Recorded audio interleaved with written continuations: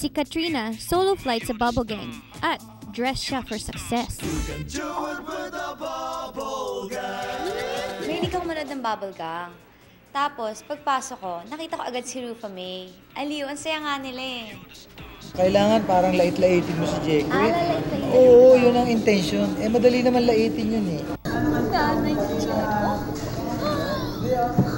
Nakakatuwa kasi dito pa siya nag-umpisa sa bubble gum.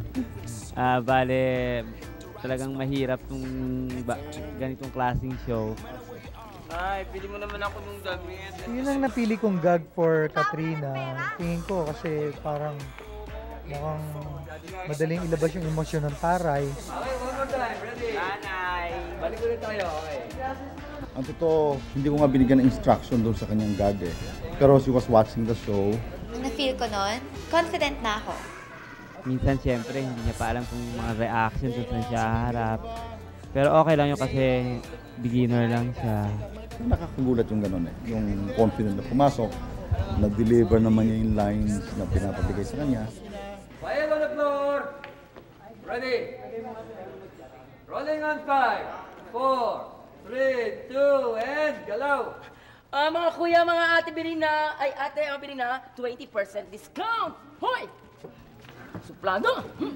Ah, ikaw, ah, ah, bagay sa'yo. Ayan, maputi bagay sa'yo yan. Ito, ito, ito. 20%. Nay, bili mo naman ako ng damit at saka toys. Ano ba? Wala tayong pera. Eh, bakit palagi mo ako sinasama sa mga mall? Wala lang. Gusto ko lang pasamayin yung loob mo.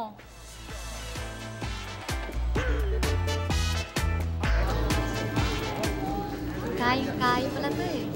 Nung pumasok ako doon, um, na-feel ko kapamilya na ako ng bubble gum kasi sobrang babait nila sa akin.